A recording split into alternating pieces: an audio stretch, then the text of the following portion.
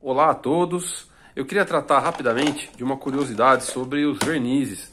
Eu nem de longe quero esgotar o assunto sobre vernizes e a eterna briga que tem, verniz a álcool, verniz a óleo, não, não, é essa a intenção. Eu só quero colocar aqui um esclarecimento para os músicos e eventualmente para algum luthier que ainda possa ter essa questão não concluída. Quando a gente fala nessa classificação de verniz, primeiro que existem vários tipos de verniz, tá? Não é só álcool óleo. Mas quando a gente fala em verniz a álcool, verniz a óleo, ah, eu uso verniz a óleo, ah, o meu violino é verniz a álcool. Não, eu só uso, eu gosto mais disso, eu gosto mais daquilo.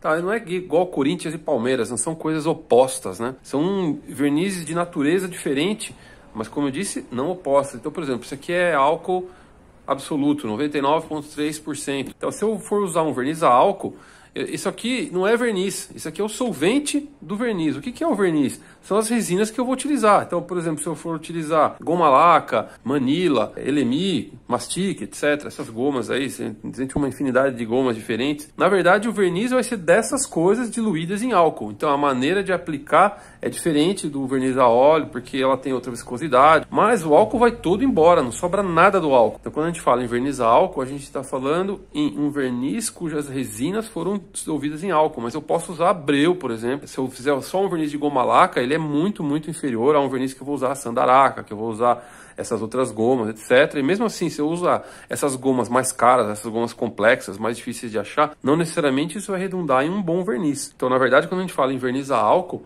depende muito mais da qualidade da aplicação e depende muito mais da qualidade das resinas, de cada uma das resinas. Se eu comprar uma resina muito suja, muito contaminada, de má qualidade, o verniz não vai ficar bom. Então, por mais que eu use álcool, verniz a álcool, ah, verniz é álcool feito à mão, não é? Depende da qualidade da resina, depende da qualidade da matéria-prima que foi dissolvida no álcool. Então, o álcool vai todo embora. Então, essa é a primeira coisa.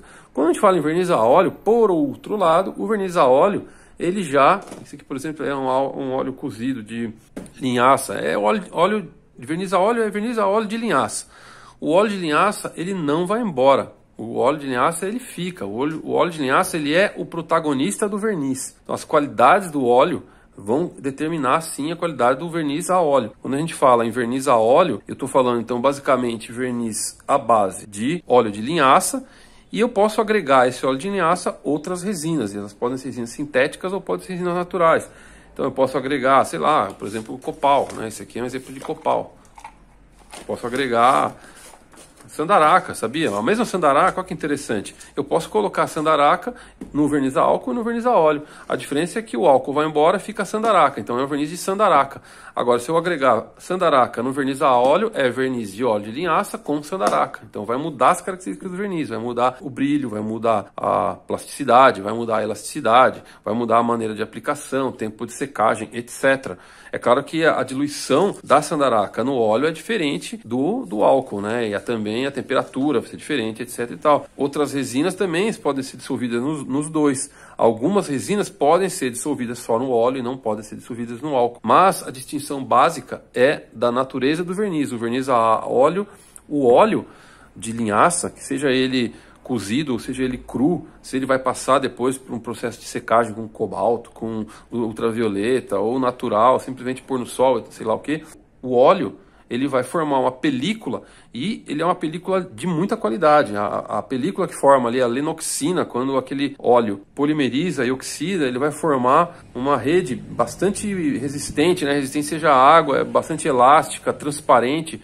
E o, o, verniz a óleo, então, ele tem essas qualidades. Ele tem outras fragilidades, é claro, todo mundo sabe que o verniz a óleo ele tem algumas fragilidades, a acidez, ao suor, etc., a alta temperatura. Mas eu posso corrigir alguns problemas do verniz a óleo, adicionando algumas resinas, por exemplo, de natureza sintética, resinas alquídicas, resinas fenólicas, etc. Eu não sou especialista em vernizes e nem pretendo chegar perto de esgotar o tema, mas o que interessa para nós é essa distinção. O verniz a óleo, aquela película que forma, que é chamada lenoxina, aquela película de verniz transparente e relativamente grossa, ela tem uma propriedade muito interessante que, com o passar do tempo, conforme ela vai secando, conforme ela vai melhorando a polimerização, ela vai ganhando volume. E exatamente pelo fato de ela ganhar volume com a mesma quantidade de cor que foi adicionada, os pigmentos, na verdade, são pequenas partículas de cor que estão espalhadas, não necessariamente dissolvidas, mas formando um colóide no verniz, e o espaço entre um pigmento e outro também vai aumentar. Então aumenta a transparência. Por isso que você tem alguns quadros pintados com tinta óleo muito antigos, que você consegue ver por trás o esboço feito a lápis. Exatamente os quadros do Leonardo da Vinci têm essa possibilidade, você consegue ver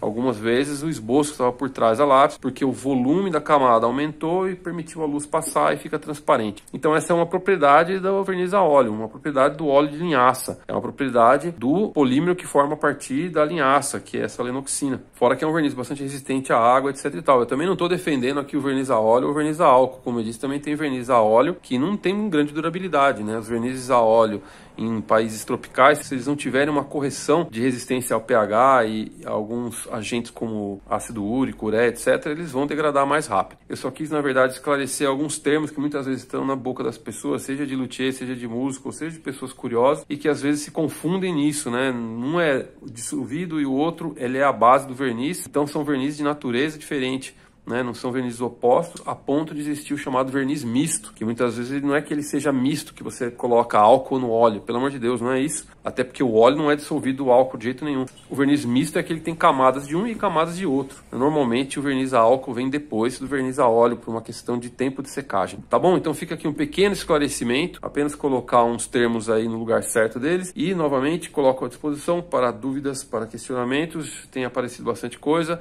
aos poucos eu vou tratando com vocês vocês. Fiquem atentos aos próximos vídeos. Não se esqueçam de se inscrever. Até mais, até breve, até o próximo vídeo.